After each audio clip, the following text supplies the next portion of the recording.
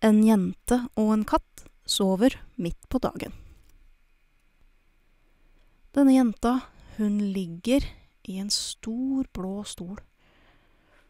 Hun ligger sidelengs i stolen, så hun sitter ikke rett opp og ned, hun ligger sidelengs i stolen.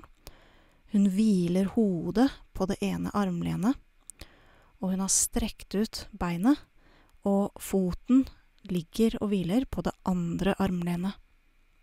Så jenta, hun ligger på, på stolen, og håret henger utafor. Så her ser vi at hodet hviler på armlenet, håret henger utafor um, langs stolen her.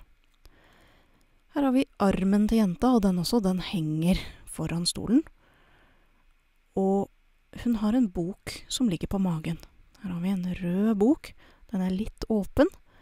Denne hånda, den hviler på boka, og boka ligger på magen på den hvite T-skjorta som hun har på seg. Så hun har på seg en hvit T-skjorte og så en grå eller blå yogabukse av noe slag. Og så ligger hun med en rød bok på magen. Så det ser ut som jenta, hun lå i den stolen og leste i den boka, og så sovna hun. Her ligger hun og sover. Hun har lukkede øyne. Munnen er litt åpen. Kanskje hun Kanskje hun snorker litt. Så hun lå og leste i den røde boka, og så sovna hun. Katten, den er hvit, og den har også lukkede øyne. Den ligger på stolryggen. Så ser det ut som katten, den, den også, den ligger og sover. Bak stolen er det en vegg, og den veggen, den har rosa, blomstrete tapet. På den ene siden av stolen så står det en stor, grønn plante, og på den andre siden av stolen så er det et vindu. Og i vinduet så ser vi sola som lyser. Så sola, den står høyt på himmelen, så vi vet at dette er midt på dagen. Så katten og jenta, de ligger og sover midt på dagen. Her ser vi også at det er klar, blå himmel, og så er det et par små hvite skyer i himmelen. Og sola lyser. Foran stolen så står det en liten kopp. Her er det en liten hvit kopp.